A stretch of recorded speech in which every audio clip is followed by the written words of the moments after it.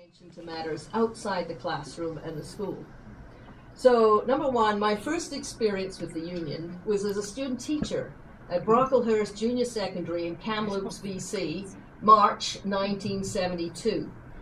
I was stunned to find myself following the school principal down the main street in Kamloops in a march led by our local president, Larry Kuehn, protesting Wacky Bennett's proposal to underfund the teachers' pension fund. I was impressed that the local store owners didn't mind us going down the street blocking traffic. The march was pre approved. In fact, they waved at us and shouted us their support. I was told that this is what you have to do to be a successful BC teacher. you had to get out there and march, or no one would pay any attention to you. the second experience was in Surrey in my first year of teaching Princess Margaret Senior Secondary. The senior math teacher there, Mr. Lloyd Edwards, originally from Jamaica, passionately believes the teachers should run the schools. Yay. School principals were superfluous.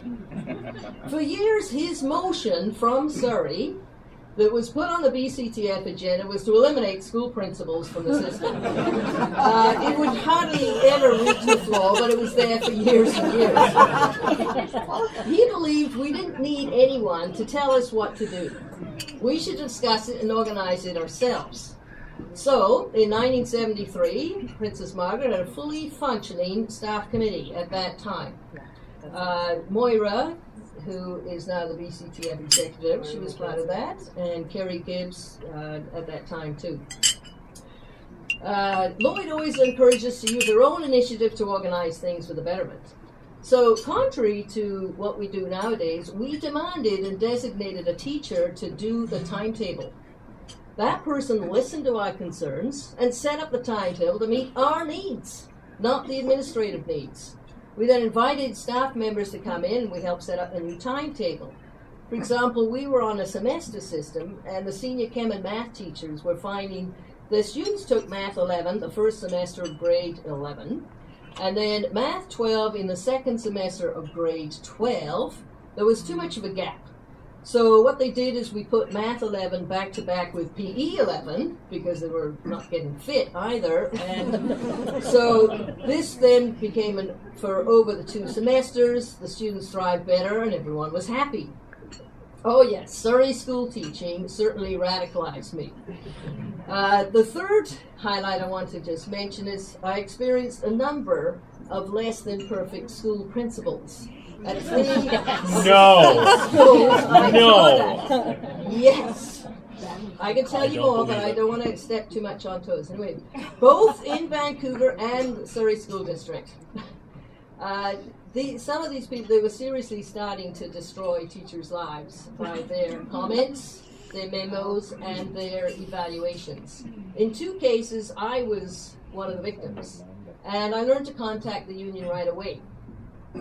In those days in Surrey, a group of teachers, we brought forth a motion of non-confidence in the school administration.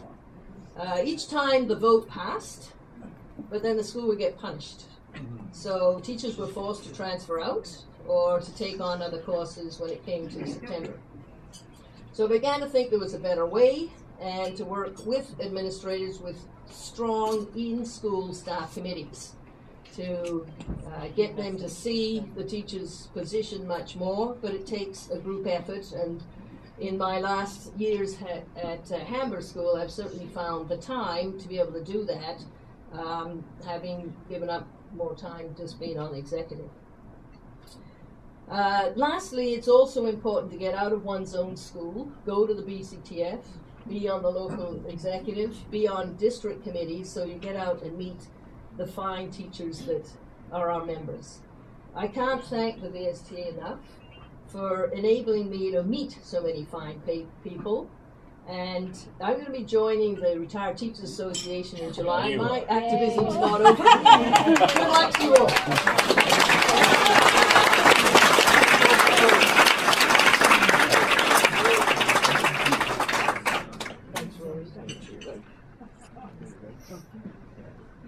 And next we have Joan Muir.